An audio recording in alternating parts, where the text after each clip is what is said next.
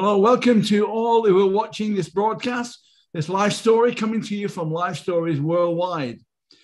If you need prayer, need help, then please contact us on our hotline, plus 44 794 355 0287, or go to our website, lifestoriesworldwide.com. There you'll find lots of things which will help you, and you'll learn about more about the speakers who've been on our broadcasts on life stories. Tonight, our guest is from Scotland. Is Steven Turnbull. Steven wants to see people succeed in life. That's his desire. And he works in psychology, and he's going to share more about that this evening. So I'm going to hand over to Steven to share his story with you. But welcome especially to the people in Ukraine. We want to tell you we love you and we're praying for you. Over to you, Steven. Thank you. Thank you, Alan, for that uh, introduction and uh, the invitation to speak on Life Stories Worldwide. Uh, so, let me tell you my life story. Uh, I was born in Scotland uh, in a little town just outside the city of Edinburgh, born into a working class family, and I had a good childhood uh, with two older brothers and parents who really loved me. a very good childhood, happy childhood. Um, we weren't really poor, but we were not wealthy by any manner means at all. And my, my parents, they, they took me to church. I grew up in the church. And sometimes I liked going to church. Sometimes I didn't like going to church and found it a little bit boring. But I did like the stories. I liked the stories about Jesus. I thought they were great stories. I thought Jesus was a great character. But as I grew up and I hit those teenage years, I kind of thought, I think these are maybe just stories. I'm, I'm not sure that this is true. It's a good idea, the idea of God, and that Jesus lived and was this wonderful character, but maybe it is just a story. So as I hit those teenage years and I got to about 15 years old, you start to ask the questions about life. Where do I fit in in life? How am I going to get the best out of life? How am I going to live a life that's worthwhile? How am I going to live a life that's going to mean something? And at that time, when I was asking these questions, uh, something pretty significant happened in our family life. My grandmother was involved in a car accident and uh, she had some terrible injuries.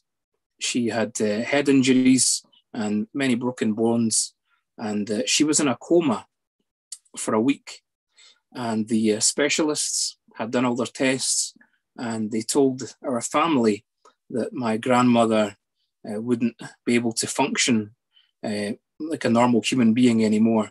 The brain damage was so severe that she would never be able to walk or talk.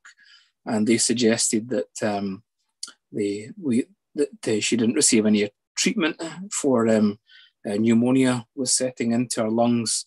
And they suggested that she just sweep away. But my grandfather was a man of faith, and he told the whole family that he was going to have the, the leader of his church to come and pray for my grandmother's healing. And I remember speaking to my grandfather saying, What's the point of that? This doctor who's spoken to us, who's a world expert, has told us that it's impossible. But my grandfather says, I, I believe in the Bible. I believe in the God of the Bible, Steven. And there's a passage in the New Testament that says that Jesus is the same yesterday, today, and forever. And my grandfather said to me that Jesus healed people 2,000 years ago, and he still heals people today. I was very challenged by that, and I went home and I, I prayed honestly to God for the first time and I I challenged God. I had no right to challenge God, but I, I challenged him and said, God, if you're real, if you are the God of the Bible that I read about, then it's no problem to you at all to heal my grandmother. My goodness, you, you raised people from the dead. You could heal my grandmother, no problem, if you are real, if you are the God of the Bible. And I need to know if you're real, I'll follow you for the rest of my life. If you don't heal my grandmother, then you are just a story, and I'm talking to no one right now. So the next day, my grandfather brought the leader of his church into this small room that my grandmother was in, this little old man who was the leader of the church. And he had a little bottle of oil with him, and he put some oil on his finger and made the sign of the cross on my grandmother's head and said a very simple prayer and just asked, Jesus, will you bring healing to this body? And as he said that, there was a power came into the room in that hospital. There was a presence. You could feel it, the, the, the hairs on your neck standing up. This powerful presence, and my grandmother opened her eyes and sat up in bed and started talking. She recovered. We uh, spoke to the doctors and asked, How was this possible? You said this was impossible. And the doctor said to her family that the age of miracles is not over. And this was a miracle. There was no medical explanation as to why this had happened. And I was so challenged by this. I was So challenged that I had prayed this prayer to this invisible God, and God turned up in a hospital room in Scotland and healed my grandmother. And so I got down on my knees in my bedroom in my house.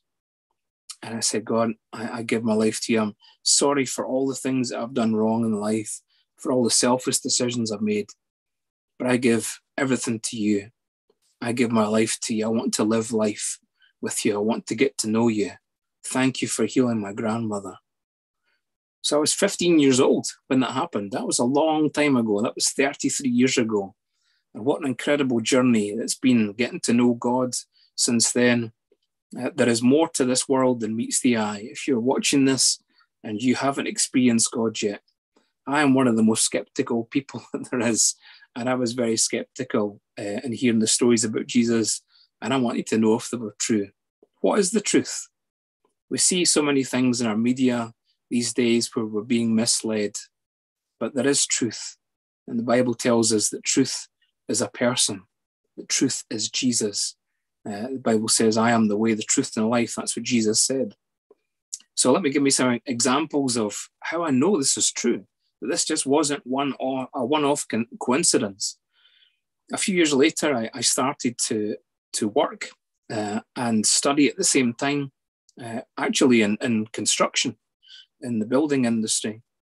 And as I was working and studying at the same time, I wasn't earning very much money. Uh, I bought a car, an old car, a not very good car. You know what it's like when you get your first car for many people. And uh, I had a lot of garage bills lots of things were going wrong with this car. And I actually got to the point that I couldn't afford to pay the bills on, on this car. I was earning so little money. And so I was at a Christian event, and uh, there was a speaker there from uh, a church in, in South Korea, actually from the biggest church in the world.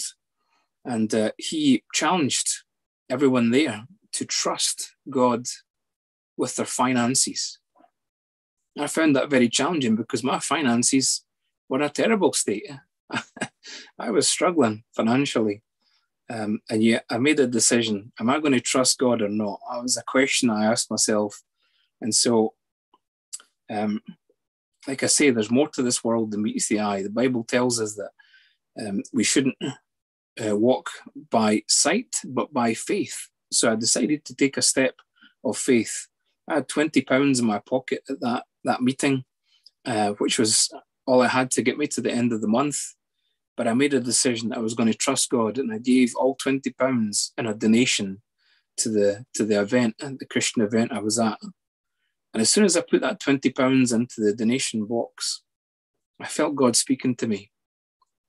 And the Bible says that God speaks in a in many ways, but uh, in a still small voice. And I often feel God speaks to me in a a still small voice, like a whisper.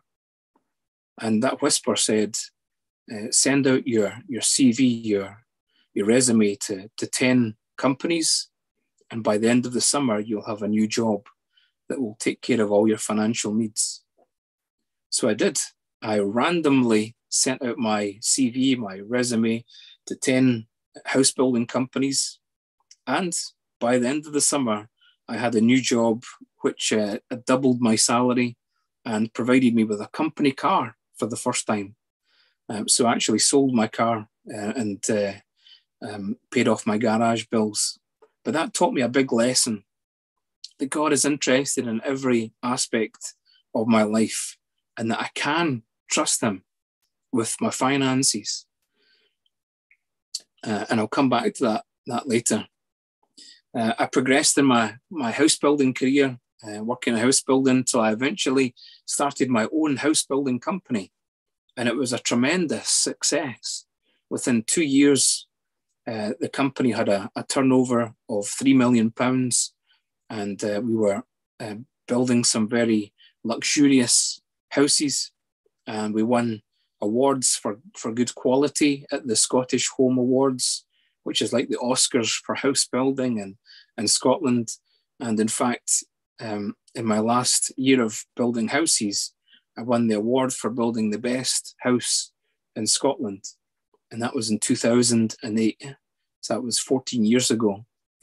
But also in 2008, there was an economic recession, um, worldwide economic recession. And whenever the economy goes into recess, the first area of the economy that's that's badly affected is always house house building and house prices. And I was committed to a building project that I'd, I'd already put um, almost two million pounds into, uh, with the hope that when I finished building the houses, um, they would be worth 20% or 30% more than the money I was putting into them. I'd invested all my money, every penny I had into this because my company was a great success and was making good money.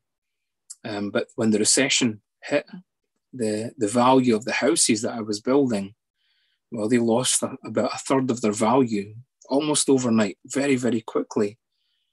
And suddenly, my project was uh, looking at making some serious losses. It wasn't my fault. I hadn't done a thing wrong. The project that I was on was the project that I built the, the best house in Scotland on. So we were building great houses. Uh, people enjoyed working for me. Um, they told me it didn't feel like a job. It, it was more than that.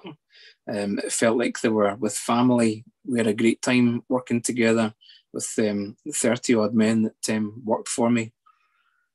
But when the, the economy turns, um, I actually lost everything. I lost my company.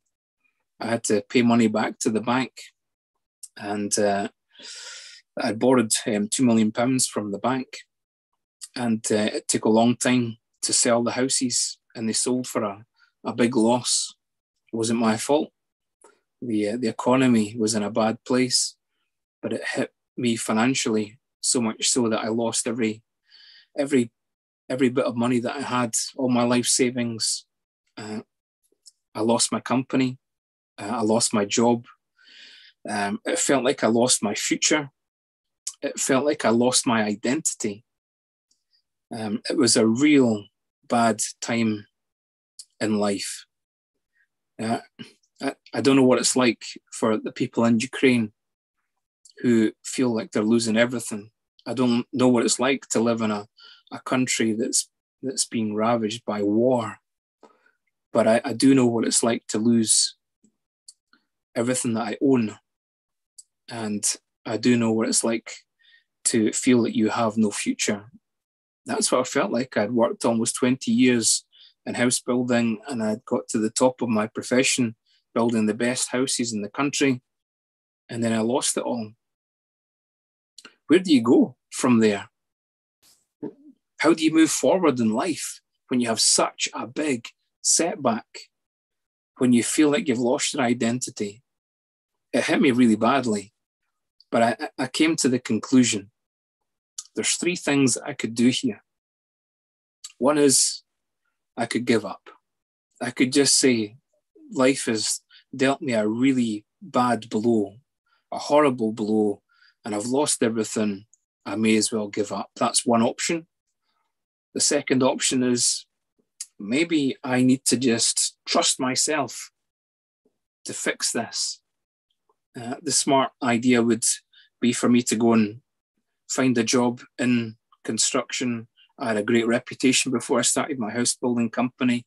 I used to um, uh, manage uh, departments and, and companies, and uh, maybe I could get a job working for a big company again and slowly build my finances back up.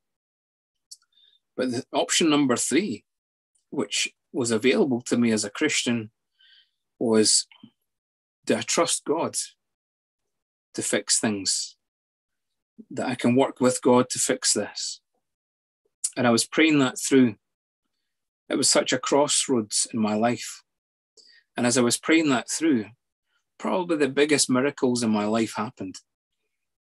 Uh, I bumped into uh, someone who I'd never met before, a woman from Australia.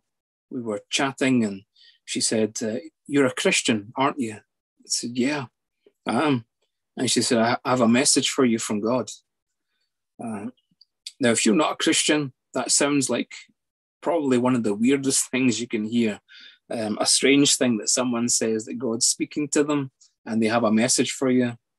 Um, but I, I was all ears and uh, I wanted to hear what it was. And this woman said that um, the word from God is that um, the reason that I was created, the reason I was made, was to help people to fulfill their full God given potential. And that God was about to gift me and enable me to remove barriers from people's minds so that they could fulfill their full God given potential. And people from all around the world would seek me out um, uh, for this gift. And I thought when she said that, that was so grand, so big an idea. I thought, I'm, I don't, I'm not sure that you're hearing from God on this. That sounds crazy, is a word that came into my mind. Um, so I left it at that. Um, and the woman said in the conversation, actually, God's speaking to me again and telling me that um, you're about to be asked to go to America. Uh, and you'll think of three reasons why you can't go, but you must go because this is where God is going to give you this gift. Um, I thought, this is just crazy. Um, I'm not sure about this.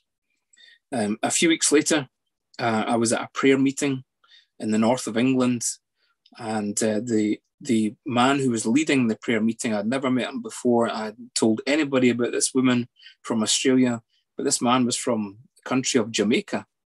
And he was a leader of a church in Jamaica. And as he finished leading the meeting, he walked straight up to me and sat down and said, As I was leading the meeting, I believe God was speaking to me about you.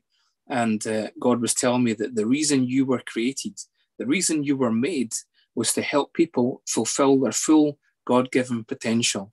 And God is about to gift you with the ability to remove barriers from people's minds to help them to fulfill their full God given potential.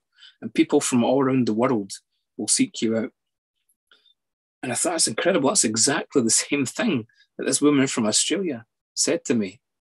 Um, and uh, the next day, uh, I had a phone call from someone in America um, from a Christian charity that I'm involved with, and uh, he invited me to come and speak at their their national conference in America in the city of Atlanta. And on the conversation, I immediately said to him, I, I gave him three reasons why I couldn't go. Uh, I said, uh, I can't go. It's my wedding anniversary. I can't go. I'm trying to save my business. I can't go. I don't have any money. And after the phone call, um, it came back to my mind that uh, this woman from Australia said, You're about to be invited to go to America. I'd never been to America before. And you'll think of three reasons why you can't go, but you must go because that's where God is going to give you this gift. I spoke to my wife about it, and she said that um, I said, well, I've got no money to go. Uh, my, my wife said, you, you need to trust God right now. If God is speaking to you, you need to take a step of faith. And so I used a credit card for the first time in my life to book the flights to go to America to this conference. And when I arrived, uh, the man who had spoke to me on the phone to invite me to the conference said, "I must apologize. I forgot to tell you that um, you, I've paid. I, I will pay for your flights and your hotel. So that was uh, step of faith number one, that um, God honoured that step of faith. And during the meeting, again, I hadn't told anyone about this woman from Australia or the man from Jamaica. But uh, at the meeting, at the conference, at the main event, the, the man who was speaking at the main event, who was the leader of a church in Las Vegas, he actually stopped during his talk and said, God is speaking to me right now about this man over here. And he pointed to me and he said the same thing that the woman from Australia and from the man from Jamaica had said. God's telling me that the reason you were created, the reason you were made, was to help people to fulfill their full God given potential. And God's about to gift you with the ability to remove barriers from people's minds. And people from all around the world will seek you out for this, and you will remove those barriers and they will fulfill their full your God given potential. And he asked everyone in the room to pray for me uh, and said, God's about to give him this gift right now. And as they prayed, I could feel a power. I could feel the power of the Holy Spirit over me. It was a tangible power. You could feel it. It felt incredible, wonderful, amazing. And after that, I went home and uh,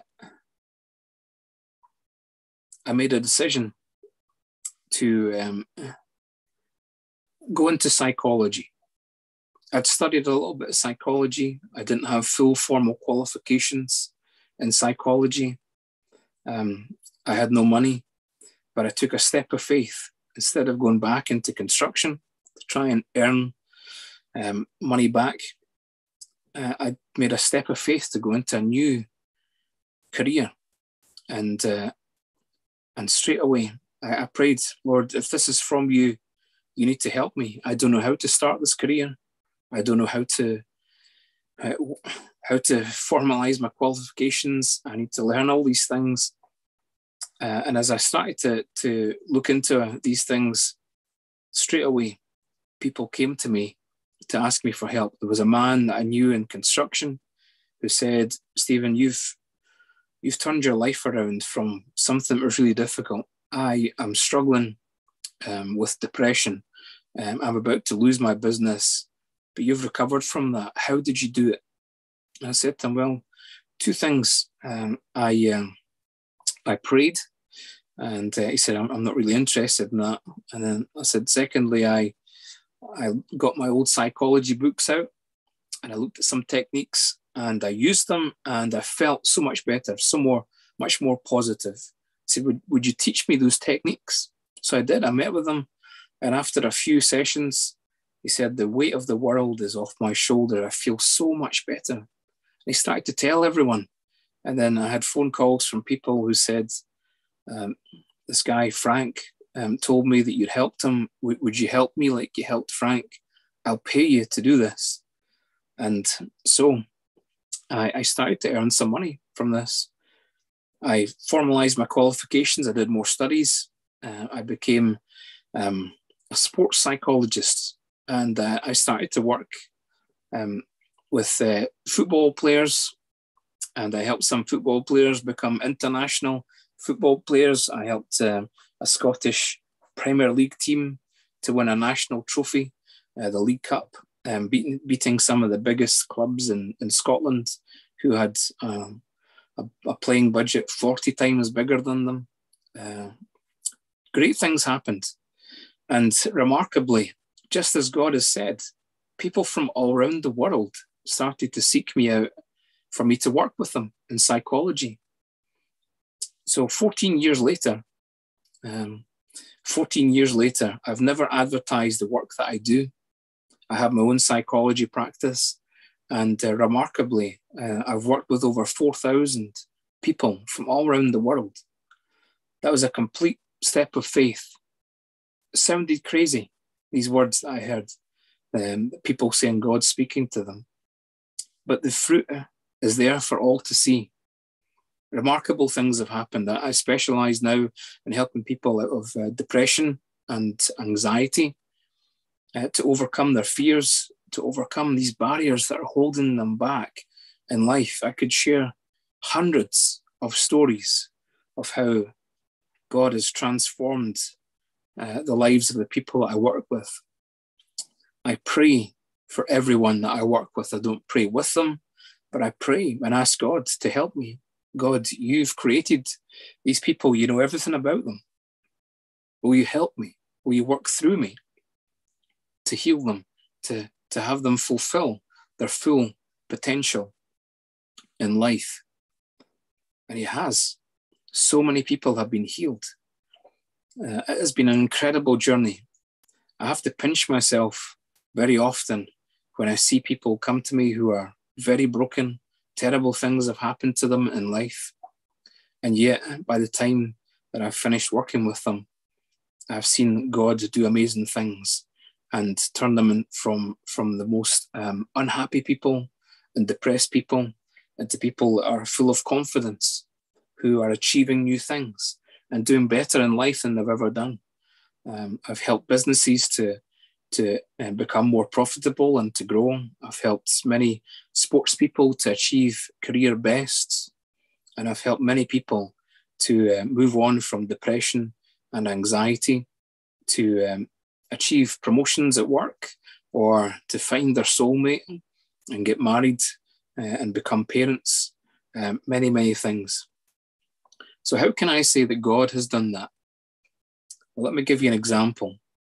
Um, one one time I, I, I went to see a new client. I always go to visit clients in their their home, and uh, I'd arrived early uh, to this client, so I, I'd stopped um, just one street away and sat in my car and prayed, Heavenly Father, you know this person, you know exactly what the problem is. Father, will you help me to heal them? Will you work through me? And will you give me revelation to tell me what it is that's wrong and what needs to be fixed. As I prayed that prayer, uh, all these words came into my head. I say that because that's what it feels like when God speaks to me. I don't hear an audible voice, but a whole lot of words came into my head. How do I know they were from God? Well, let me tell you the story. When I went to visit the man, um, he had never told me what his problem was when he invited me to come and meet with him. I'd only been he'd asked around and and heard uh, uh, um, that I'd helped some other people, so he uh, reached out to me. And when I started to speak with him, um, he couldn't, he didn't want to tell me what the problem was. He was so embarrassed. And after 20 minutes of him speaking, but not telling me anything, he said, I don't want to say it. I don't want to say the words. I'm so embarrassed. I don't know where we go from here. How do we move forward? I said, Well, I, I believe I know what your problem is. He said, How could you know? I haven't told you. In fact, I haven't told anyone. No one knows what my problem is. I said, Well, I, I prayed in my car and I believe God's told me what the problem is. And he laughed and he said, Well, this that's impossible. Um, I don't believe in God. And uh, nobody knows what my problem is. So um, humor me tell me what it is. What is it this this invisible God has told you? And I told him exactly what the problem was that, that he worked in emergency services and he went to a, a road traffic accident. And as he was trying to get someone out of the car who was trapped in the car, he misused a piece of equipment. The equipment broke, and the man he was rescuing died and he struggled to cope with it. And he was now self medicating by drinking alcohol. And it had got so much of a problem that um, he had driven his car with his children in it whilst he was drunk, whilst he was um, full of alcohol. And that's why he had reached out to me. And uh, the man uh, started to cry, tears rolling down his face. And I said that that's impossible. That that's exactly what happened, but I haven't told anyone. No one knows, not even my wife knows. No one knows this has happened. How is this possible? I said, because for man it's impossible, but for God all things are possible. And I'm pleased to say that um, I worked with that man, and he not only was he um, healed of his condition, but he also came to realize the truth and the reality of the living God. God spoke to him that night. And not only is he a Christian now, but he's a, a worship leader. You see, God is alive no matter what the world tells you. The reality, the truth is, my experience in life is, the truth is that God is alive. And God is able to do more than we can ask or think. That's what his word, uh, the Bible tells us, that God is able to do more than we can ask or think. God has done more in my life than I thought was possible. The, the, there's real value in my life, more value than I hoped there would be, because 4,000 people have been healed and fulfilled their potential in life. God did that, not me, but He did it through me, and it's incredible. God has restored my finances that were destroyed by the recession in 2008. He's restored those finances and He's met my every need. I am so grateful for everything that God has done uh, for me and through me. And most importantly, I'm so grateful that He has made it possible for me to be part of His family, for me to be adopted into His family. I came to faith when I was 15, when I accepted Jesus, when I prayed and, and said that I was sorry for all the, the things that I had done wrong in my life and that I was giving my life to God. I was able to do that because God had made it possible. He had sent his son to live a perfect life, the Bible tells us. Jesus lived a miraculous life, a perfect life, and he willingly paid the price for all the things that we've done wrong.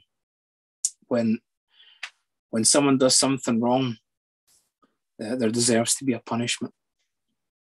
And for us, if we live our lives for ourselves, we deserve what's coming to us through those choices. And the Bible tells us that if we continue to live our lives for ourselves and are for ourselves only, apart from God, then we will be eternally separated from God.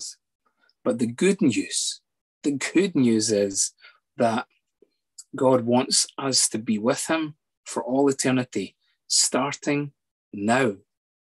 Eternal life starts now if we accept Jesus and the sacrifice that he made for us to take the punishment for all the things that we've done wrong. I made that decision and asked Jesus um, into my life when I was 15, and my life has become extraordinary since then. I commend Jesus to you. I commend the living God to you. And I would ask today, right now, if you do not know Jesus, if you have not made that decision to live your life with God, then you're missing out. And I ask you, I appeal to you, make a decision right now that you're going to live life with God. And you can do that by saying a simple prayer. So maybe you could pray this prayer with me and pray it from your heart. Mean it in all sincerity and all honesty. Let's pray this prayer together so you can start a new life, start a new uh, future, a better future with God. Let's pray. Say these words after me Heavenly Father, I thank you that you sent your Son, Jesus, into this world. I thank you that he lived a perfect life. And I thank you that he was willing to lay down his life for me. I thank you that he paid the price for all my wrong. I ask for your forgiveness for all the sin in my life, for all the things that I've done wrong. I thank you that Jesus has paid the price with his own blood for me.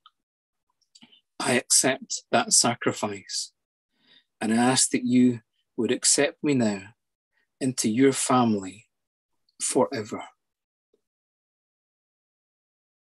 Amen.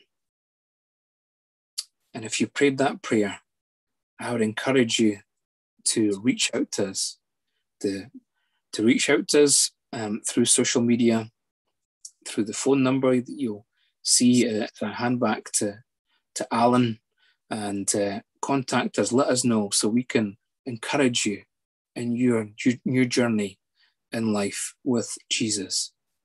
Thank you for listening. God bless you. Thank you, Steven, so much. That was a wonderful, wonderful story. Inspiring, encouraging. I'm sure many, many people will be touched by what you said tonight. If you prayed that prayer with Steven, and like Steven says, please contact us. You see the number on the screen, plus four four seven nine four three five five zero two eight seven. Or you can go to our website, lifestoriesworldwide.com. There you will find the salvation prayer link. You'll find information that will help you. You can also find out about the Monday evenings uh, live stories that go out every week. You can listen to other stories like Steven. But the most wonderful thing is, if you have prayed that prayer tonight, your life will never be the same again. So we do thank you for joining us tonight. And thank you, Steven, so much. Thank you, Gents, for interpreting. Thank you, John. And pray God will bless you all. May you know the peace of God, which passes all human understanding. God bless you all. Bye.